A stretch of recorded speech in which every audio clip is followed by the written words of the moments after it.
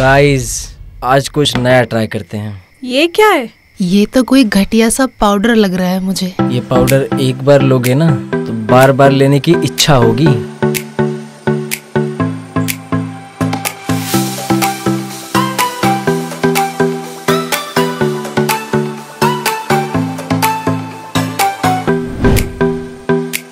इसे लेते ही ना हमारी जो सेक्सुअल फैंटेसी होती है ना पूरी हो जाती है।